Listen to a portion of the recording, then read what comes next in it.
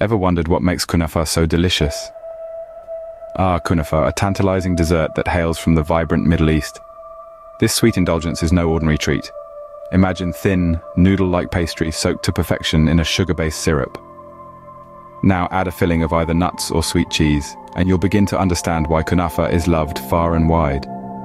This unique dessert is a feast for the senses with its surprising texture and irresistible flavor.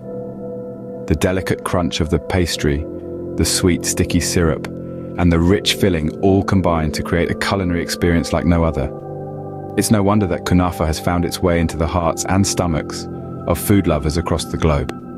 From bustling street markets in Cairo to high-end patisseries in Paris, kunafa is a dessert that knows no boundaries. So what's the secret behind this delectable dessert? Let's dive into its history.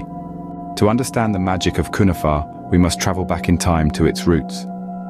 Our story begins amidst the grandeur of the Ottoman Empire, where the dessert first made its tantalizing appearance. It's a testament to the culinary prowess of the region that kunafa quickly gained popularity, spreading like sweet, sticky wildfire throughout the Middle East and North Africa. Yet, as kunafa journeyed through different lands, it embraced the local cultures, resulting in a delightful array of variations. From the cheese-filled kunafa of Palestine to the cream-infused version in Egypt and the nutty twist of Syria, each region has added its own unique flair to this delectable dessert. This isn't just a dessert, it's a piece of history, a testament to the diverse culinary traditions of the Middle East and North Africa. But we're not just here for a history lesson. While its history is fascinating, it's the making of kunafa that truly captivates our taste buds. Crafting a perfect kunafa is nothing short of an art. It starts with a thin, noodle-like pastry, so delicate it's a wonder to behold. The pastry is layered in a circular pan, and here's where the magic happens, the filling. Some prefer a nutty crunch, others a sweet, creamy cheese, but either way, it's a delightful surprise waiting in every bite. Once the filling is nestled within the pastry, another layer of the pastry tops it off, creating a sandwich of sorts. Next, this assembly is baked to a golden perfection, the heat transforming the ingredients into a cohesive, crispy masterpiece. But the process doesn't stop there. A sugar-based syrup, often infused with a hint of lemon or rosewater, is poured over the hot pastry. The kunafa soaks up this syrup like a sponge, the sweetness seeping into every nook and cranny.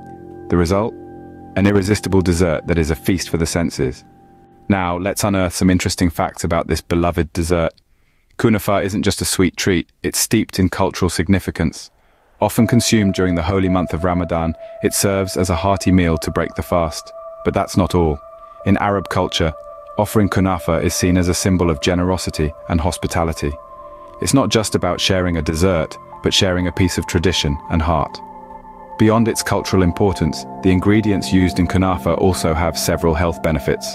The thin, noodle-like pastry is typically made from wheat, a great source of fiber. The nuts often used as filling are packed with healthy fats and proteins. And let's not forget about the sweet cheese, a good source of calcium.